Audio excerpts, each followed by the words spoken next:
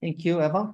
Uh, can I premise something before starting the, the question? Yeah, because we are at the, the last presentation uh, before the coffee break. Probably you are still tired or looking for someone else that. Uh, so please be short, have a short talk and so on. But I want to raise your attention because without uh, of course, neglecting the uh, presentation done before my presentation. We are talking now of the most uh, about the most important resource in our life.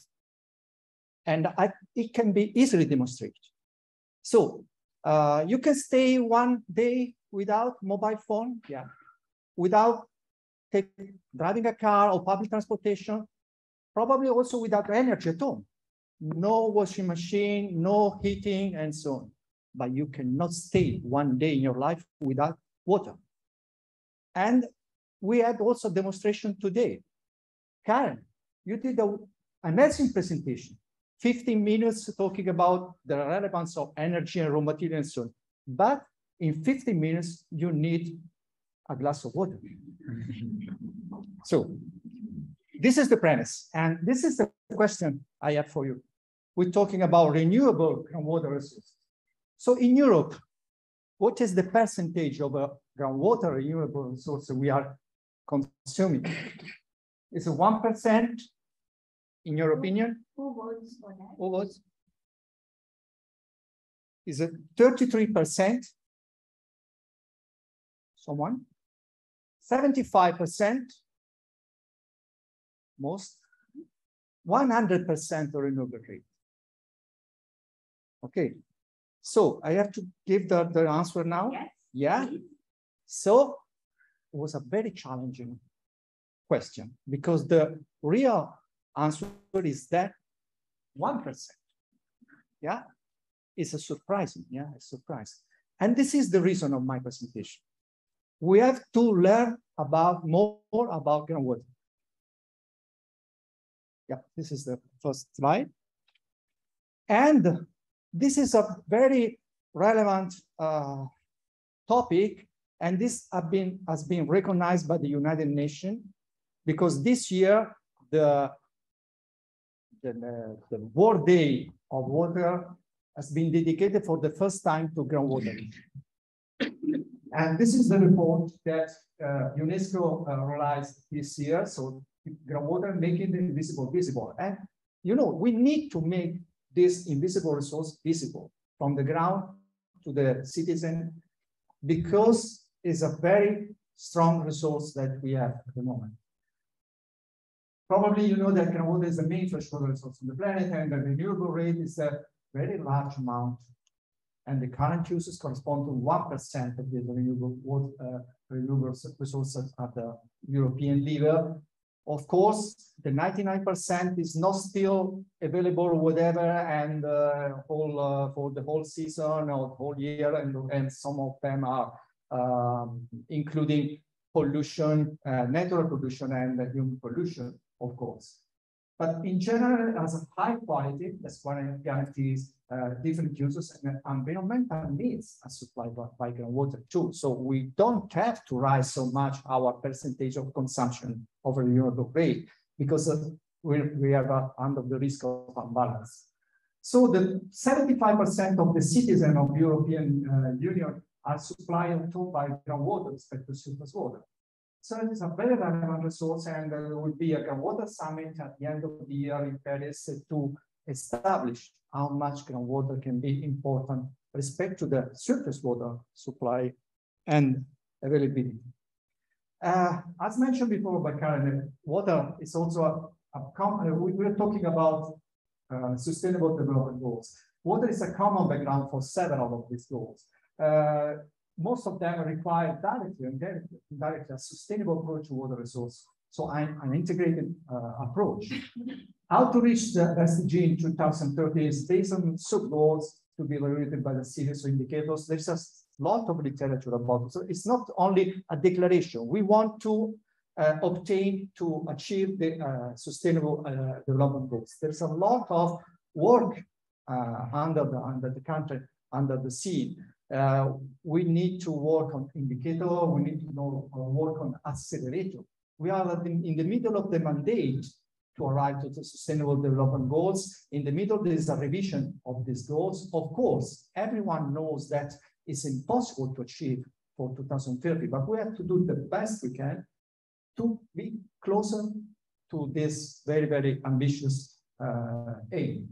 So accelerators are being indicated by, by the United Nations. And the European level, there is a Green Deal. Green Deal, of course, is inspired to the Sustainable Development Goals. Several actions of the Green Deal are related to water resource use and protection. The farm to fork strategy, zero pollution, of course, the zero pollution action plan, the climate neutrality, and also the transformation of agricultural, of agricultural rural areas, and, and so on. These are only some example of the action that European Commission is promoting in uh, during this year related to water in general. But when we talk about water, we talk also about energy, we talk about food, we talk about ecosystems. So this, this is the nexus that has been launched recently after the previous nexus, which didn't include the ecosystem. Now we have a new nexus that include also the environmental issue.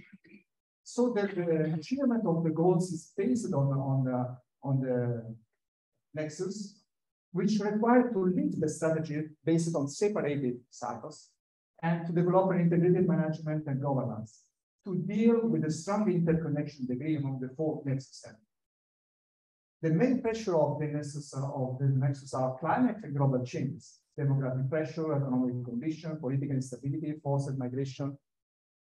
They see they are uh, that they are very relevant issue that we are facing all, uh, all the day. This pressure are creating strains with impacts on natural resources, biodiversity, ecosystem, and they transmit an imbalance in the economy and the well-being of humans and of the planet, of course. So the nexus, which include water, is a basis for a common basis, including energy, food, and, and ecosystem to reach some of the achievement of the sustainable development goals. What is the role of water and the water in this, in this context? Water is the first target of climate change. And if you look at this, uh, this graph, you can see that water is uh, central, supposed to be central respect to the human settlement, the sanitation, and the uh, ecosystem energy and agriculture. And with the current energy and food crisis, energy, of course, but also the food crisis is still uh, uh, uh, at our door. And the water would be the next one. So water, we expect that water costs rise uh, very, very quick in the next months or year. It's an expectation. Because of course, uh, taking water at your home requires energy. And this is a competing use uh, also between the energy consumption. So the public water is under risk. If you talk with some of the water supplier or the water agents and so on, they are taking care of their accounts also. Not only your family, not only the food production, uh, not only the, the big industries, but also the water is under the risk of rising costs. So it can be a critical, uh, critical issue, the water, to go in a negative way because of the energy and food crisis. If we go after, uh, if water is included in this crisis, it can be some very negative effect. But otherwise, water has also a strong resilience to climate change. Groundwater has a strong resilience to climate change. Of course, it's not inexhaustible, it's affected by climate change, but it's a very strong resource that can help to change, to, to, to, to invert the direction and if you are, uh, you believe that the four elements are included in a nexus, we can use water and water to help the other part of the nexus which are now in crisis. So there is a positive possible potential message respect to the negative one that we expect at the short term.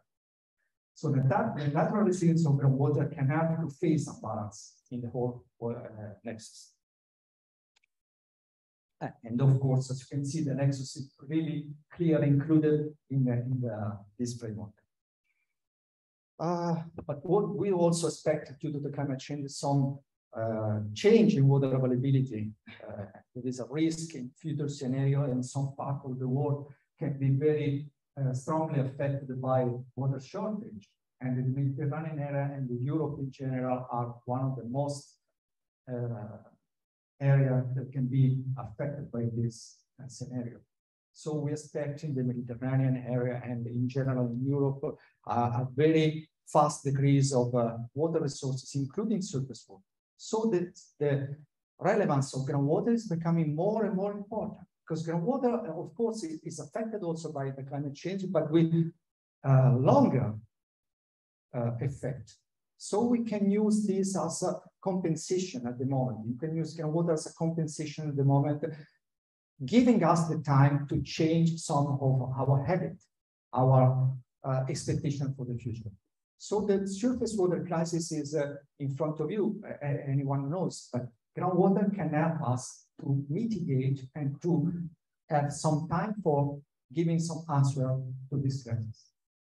Of course, the water scarcity depends on local conditions, seasonal change, and the temperature increase is not only lowering the aquifer recharge, is increasing abstraction, water abstraction, and it's also as an oxygen resource shortage in water, which impact on ecosystem. So it's a real interconnected uh, nexus.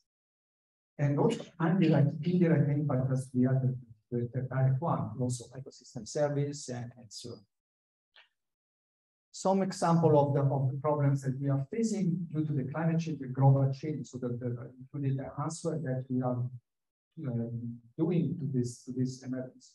Shortage in precipitation are uh, expected all in most part of the world, and another time, Mediterranean in Europe and Southern Europe, especially, but also Northern Europe, are expected to have a very strong shortage in, in precipitation and the increase of water consumption. So we are still increasing water consumption 1% uh, every year, which seems to be not so high, but is also a relevant increase all around the world. And uh, the occurrence of extreme events, as you, we talked about uh, before, is that the extreme events occurrence is rising uh, every year, and uh, there are three times respect to the, to the previous uh, 40 years. Uh, so we expect another uh, additional problems with the surface water management due to the extreme events. This graph seems to be complex, but it's very easy to read. Yeah. So we were in a preliminary condition, and we are looking for the SDG. We are we, we have lost some very green path we lost forever. We are now in the middle of this, this process. We can move down, going to the orange and red condition without the possibility to go up. Or we can manage this condition right now, looking at 2030 and 2100 to see if we can be able to stay at least on the yellow path. Or the green path, it seems to me ambitious as possible. So we need young people. We are, I'm talking about me, we are, we cannot contribute so much. We, I cannot have the, the, uh, the perspective of 2100. So we need young people to do it.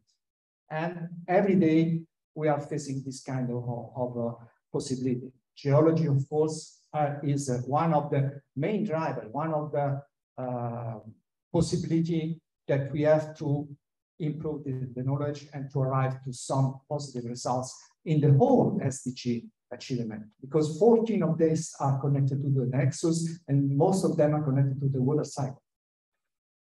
How to do it? Uh, research, yes, research. I'm, I'm uh, still uh, active in scientific research, producing new methodology, new data. So we need also new data scenario simulation, practical application solution. We are, I'm involved in a project that's still close in few months uh, under the PRIMA action of the European Union, including Mediterranean uh, countries. It's the KARMA project on the in the Mediterranean area. And the new one will start in uh, next month in uh, under the Horizon uh, Europe uh, program is an info project related to the climate change scenario and how to use you know, water to uh, help us to, to, to improve our resilience to climate change. Finally, uh, some key uh, keywords.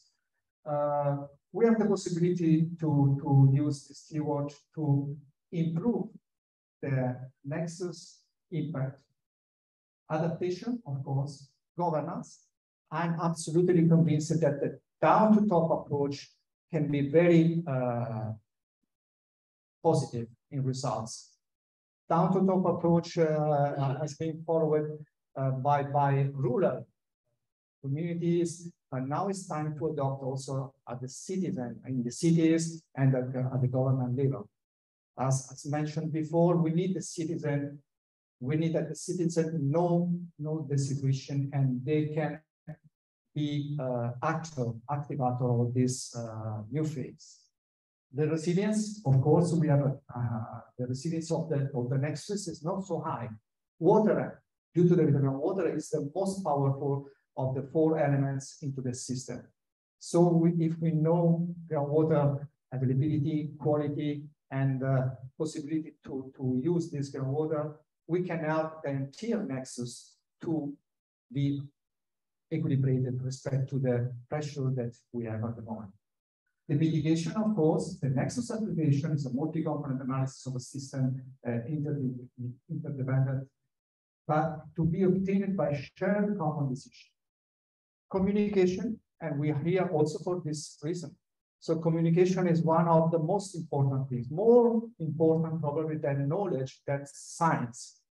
Communication with, a, with a, our colleagues, communication uh, out of the scientific process uh, with professional people, communication with the citizens, stakeholders, and of course, uh, government and decision makers. And this is one of of the classical uh, graph that can, can show you how the decision maker and in this case, the water professional planners and the local water stakeholders and general public has to be interconnected. So the three circles has to be closer and closer every day to reach more awareness uh, about the uh, resource that we still have on the on the on the globe and uh, the way that we can use them for giving us some possibility to have a better future. Thank you very much for your attention.